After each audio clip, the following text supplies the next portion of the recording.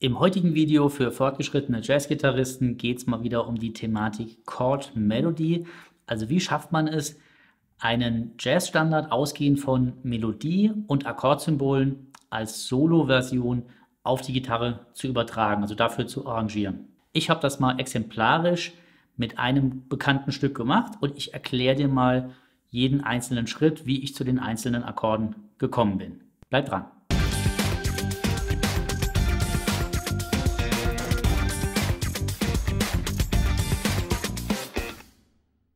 Hallo, hier ist Christian, mal wieder mit einem Video für weiter fortgeschrittene Jazzfreunde. Wenn du dich für die Thematik äh, Jazzgitarre interessierst, dann empfehle ich dir auch unsere Facebook-Gruppe Jazzgitarre lernen, die ich vor ein paar Jahren ins Leben gerufen habe.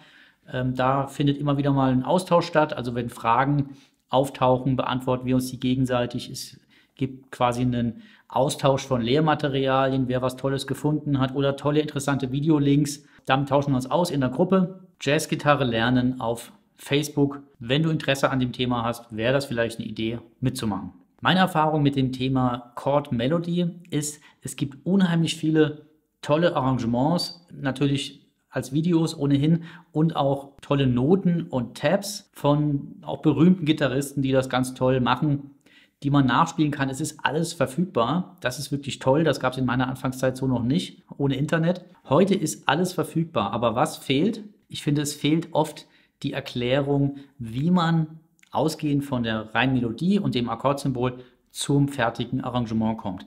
Was sich der Gitarrist dabei gedacht hat überhaupt. Es ist auf jeden Fall ein komplexes Thema und je mehr Akkordsysteme und Akkorde, Akkordvoicings du kennst und geübt hast, desto einfacher wird es und umso schöner wird es auch, weil du dann viel mehr Auswahl hast. Es geht ja oft darum, wir haben einen Melodieton und ein Akkordsymbol und wollen gerne den Akkord so wählen, dass der Melodieton der höchste Ton ist. Das wäre so die einfachste Variante. Und je mehr schöne Akkorde du kennst, desto mehr Möglichkeiten hast du dabei. Mein heutiges Arrangement des Jazzstandards The Days of Wine and Roses ist jetzt auch nicht speziell anfängerfreundlich gemacht, sondern es ist so nach meinem persönlichen Geschmack, wie ich das ungefähr machen würde. Es ist jetzt auch nicht zu vertrackt. Ich mag es eigentlich auch halbwegs minimalistisch und klar und ohne viele Zwischenmelodien und so. Ich habe es einfach so gemacht, wie ich es für mich arrangieren würde. Und ich erkläre dir jetzt aber mal, was dahinter steckt, Takt für Takt.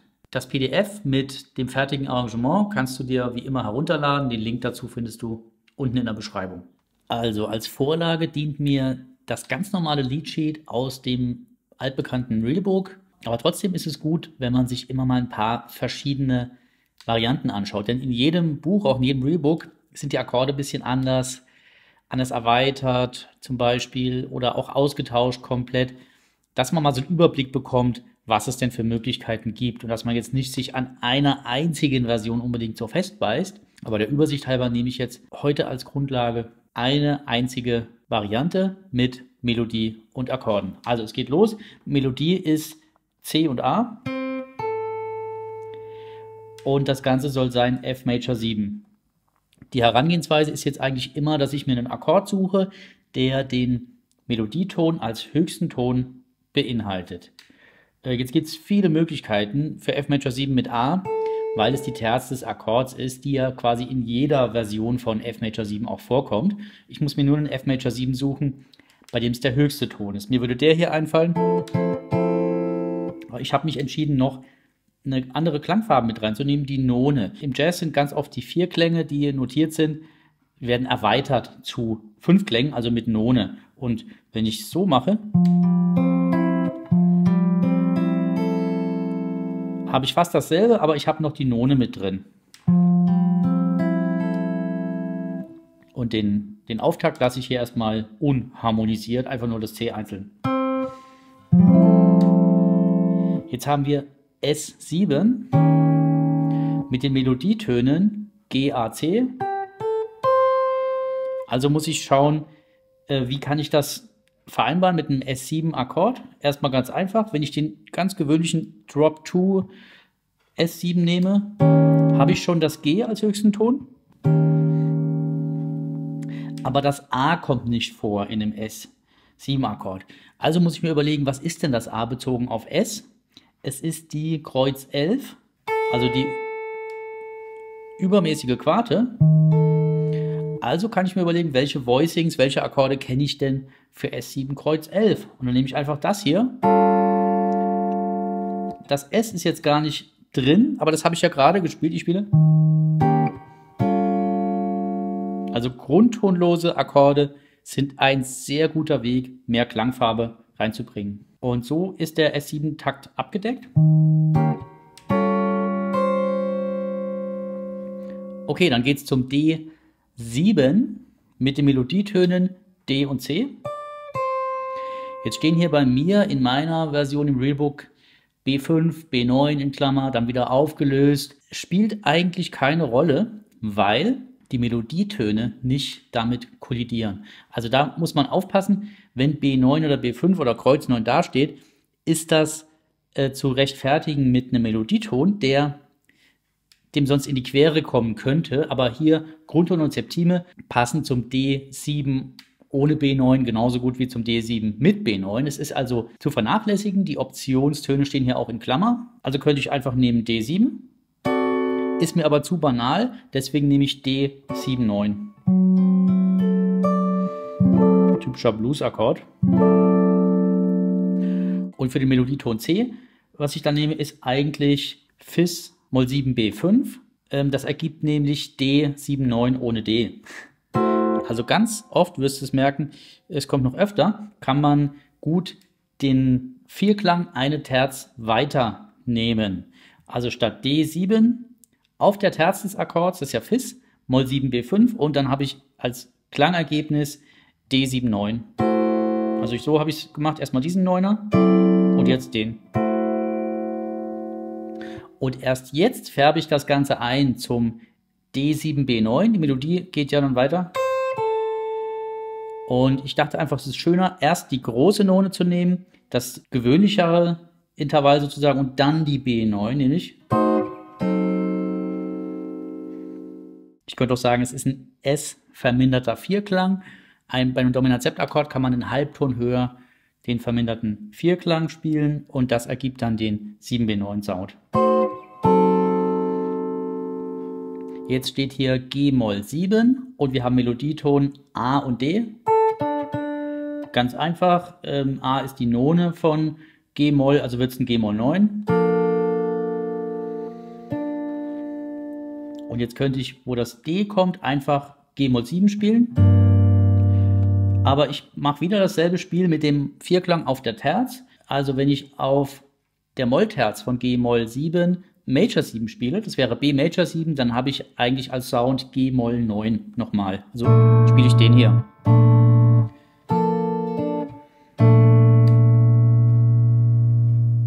Es bleibt immer noch G-Moll 7, Melodietöne C und A. Jetzt ist das C nicht drin im G-Moll 7, es ist die Quarte. Also tausche ich aus dem, aus dem Moll 7 einfach die Terz aus gegen die Quarte, ist also wie ein 7-Sus-Akkord. Und nochmal den Moll 9-Akkord. Jetzt steht im, in meinem Realbook B-Moll, ganz einfach. Melodieton ist aber ein A. Das wäre also Moll Major 7. Das ist ja die Major 7, das A von B aus. Und im anderen Realbook habe ich mal geschaut, steht hier aber auch direkt S7 als Akkord, gar nicht B-Moll. Bei zwei Fünf-Verbindungen habe ich gelernt, die sind austauschbar, die Akkorde. Also ich kann das, wenn es mir besser gefällt, das B-Moll ignorieren und gleich S7 spielen. Oder ich könnte auch B-Moll einfach lassen und das S7 ignorieren. Die Akkorde sind verwandt in einer 2-5-Verbindung, die können füreinander stehen. Und ich, für mich ist einfacher zu denken, ich äh, gehe gleich zum S7 und mache den wieder als Kreuz 11. Aber genauso gut könnte ich auch sagen, das ist B-Moll Major 13. Ja, ich finde es nur einfacher zu denken in S7 an der Stelle. den Akkord könnte man auch als B-Moll S6 deuten oder als S7 mit Quintbass. Dann geht es weiter.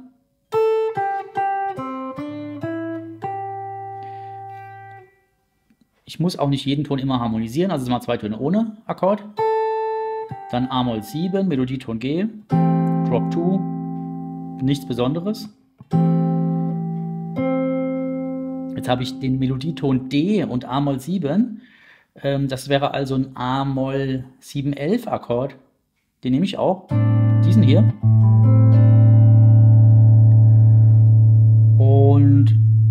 Auf die letzte Note im Takt fürs E nehme ich. Da könnte man sagen, das ist eigentlich C6. Nur C6 ist dasselbe wie A-Moll 7, hier mit Terzbass. Also die ganze Stelle nochmal.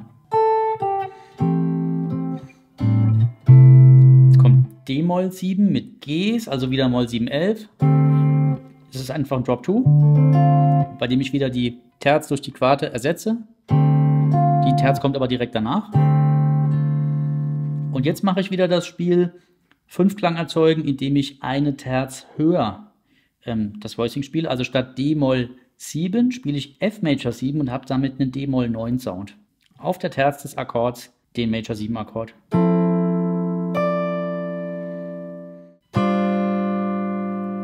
Den G-Moll 711 hatten wir schon öfter oder, oder G7 Sus kann man ihn auch nennen.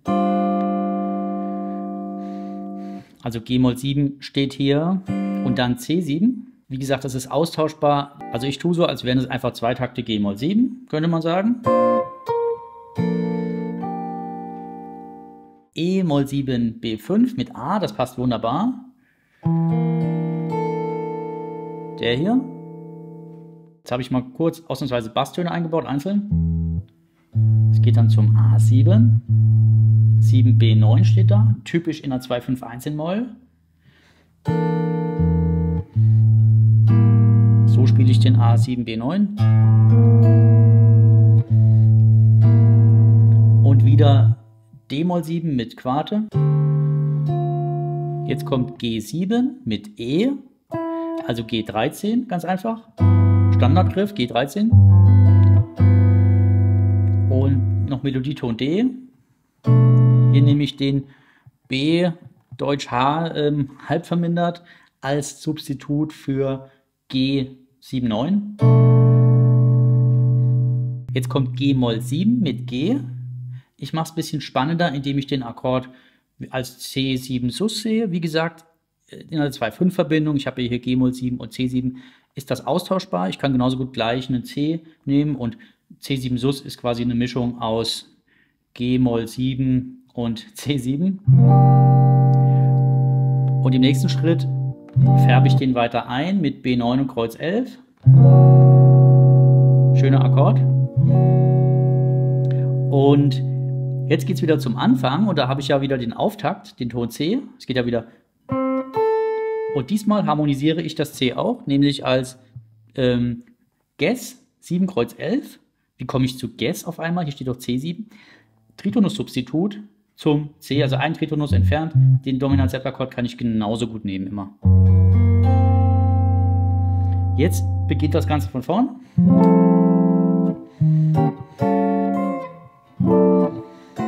Und so weiter. Ich habe das jetzt nicht neu äh, harmonisiert, sondern ich lasse alles so lange ich kann. Wenig Arbeit. So lange bis wieder die Stelle kommt A-Moll 7, D-Moll 7. Da muss ich wieder was ändern. Also der Anfang ist noch gleich dieser Armor 711, Armor 7 mit Herzbass. Und jetzt ändert sich die Melodie. Die wird nämlich jetzt aufsteigend. Und als Akkord habe ich D-Moll 7. Hm. Also mache ich A-Moll 711, äh, D-Moll 711 quasi.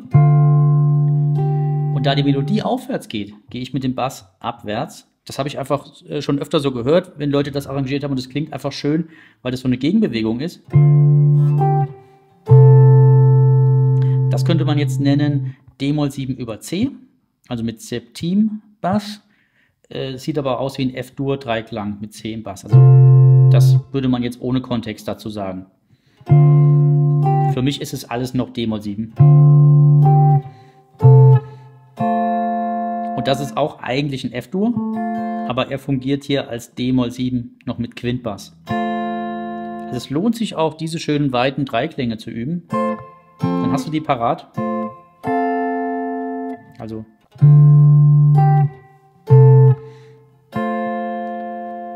Jetzt kommt B Moll 7 B5. Also B oder Deutsch H Moll 7 B5. Und jetzt geht es einen Halbton abwärts zum B Flat 7. Den kann ich ja jetzt auch andersrum mir wieder als Tritonus-Substitut zum E7 machen. Das wäre ja dasselbe oder das ist wahrscheinlich auch die, äh, die Denke, wie, wie man zu diesem Akkord gekommen ist, dass das ein dominant Sept-Akkord sein soll, eine Dominante zum A-Moll, der danach kommt. Also ich mache einfach ein E7 daraus, gedanklich, und mache den als E7 B9. Da muss ich nur einen Ton ändern.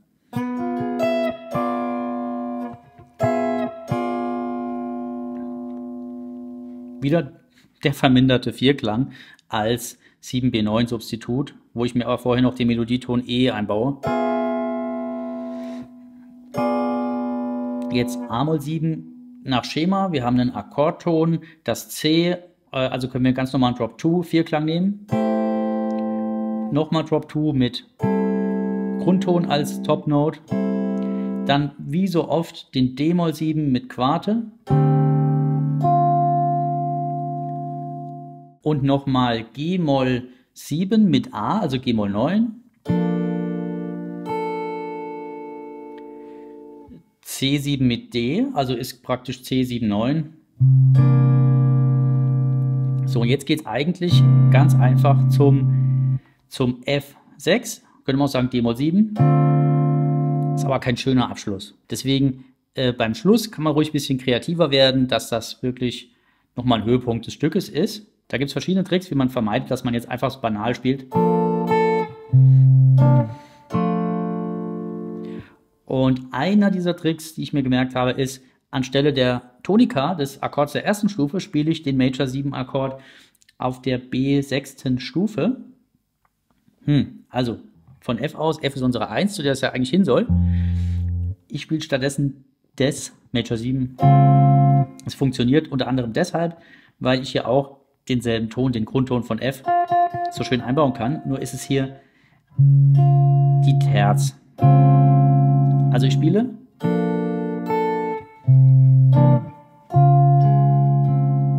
Jetzt gehe ich im Quintfall runter zum Gas Major 7.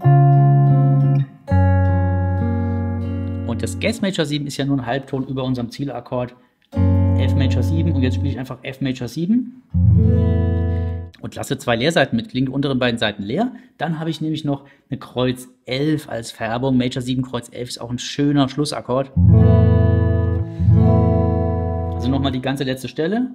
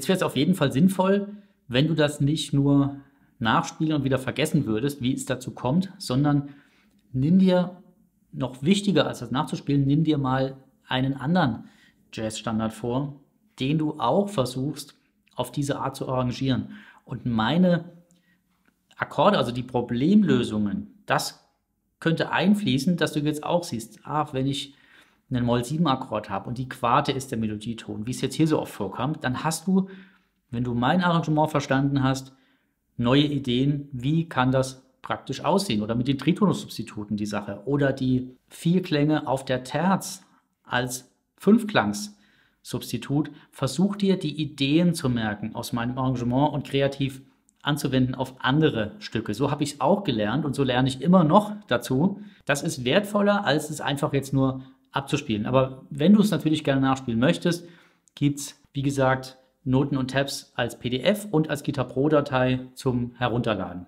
Wenn du mehr über Jazz-Akkorde von mir lernen möchtest, schau dir auch mal meinen Kurs Jazz-Akkorde für Gitarre an. Ist praktisch ein E-Book mit verschiedenen Akkordsystemen und ein paar ergänzenden Videos und Backing-Tracks. Das soll es für heute gewesen sein. Gib mir den Daumen nach oben, wenn es dir gefallen hat. Vielen Dank. Bis zum nächsten Mal.